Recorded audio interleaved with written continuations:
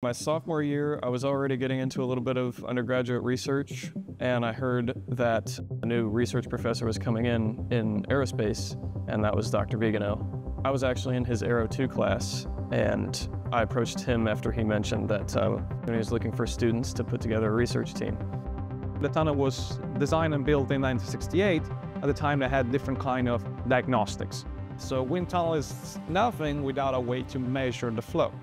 Modern diagnostic is primarily laser-based. So you use lasers, cameras, various type of optics, detectors, but they do require a lot of optical access. We need big windows to be able to use these techniques. Well, when I first came into the lab, the tunnel was not ideal for the type of research that we were wanting to do. So it was just a necessary step to redesign the nozzle and test section, and that was my job. The design phase took about a year and a half. Everything was done internally. So we made all the drawings, designed all the parts, sent all the parts to the machine shop.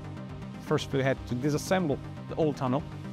So remove the section, remove the old nozzle, remove the old diffuser, the plenum tank, we had to go in, clean all the system.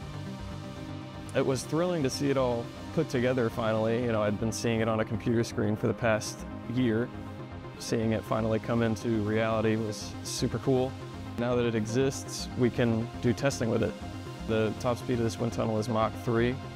We're in the realm where we can do testing for supersonic and hypersonic travel. So like within the combustion chamber of a scramjet, the overarching interest that I have is just in hypersonics. Being able to do testing in that field is really exciting.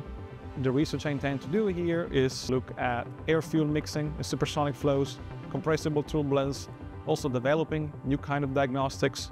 All of these are going to help us solve for tomorrow's supersonic and hypersonic aviation problems.